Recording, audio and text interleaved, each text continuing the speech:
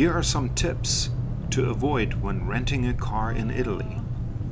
First, make sure you have an international driver's license.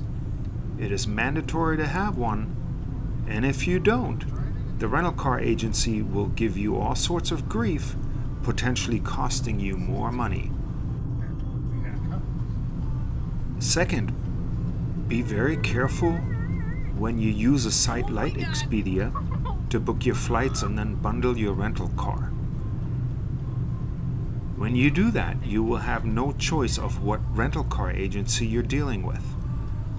I assume it goes to the lowest bidder, and well, I had to do with Drivalia for my rental in Italy, and I can tell you I would not use them again.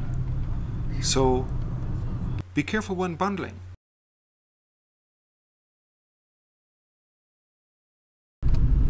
Third, driving in Italy is not for the faint of heart. I would highly recommend that you get the additional insurance because there are so many instances where you will have motor scooters or motorcycles coming up on either lane that you're just not accustomed to. They will lane split, they will come up at stoplights and, and wedge themselves in between cars. Mirrors could get scratched or knocked off just be aware, um, Italian drivers are crazy. Watch your speed.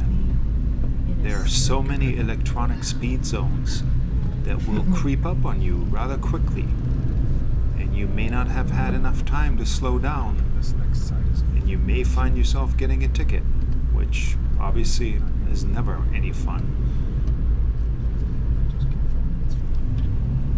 This tip pretty much is for anyone driving anywhere. Don't drink and drive. Just don't do it. In Europe, they are not taking this lightly at all. And rightfully so. The roads are just too narrow, borderline dangerous, and do not be impaired when you're driving here.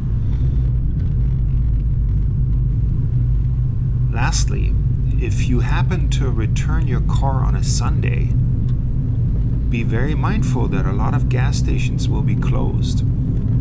I ran into this and I was scrambling a bit to try to get the car fueled before I returned it at the airport.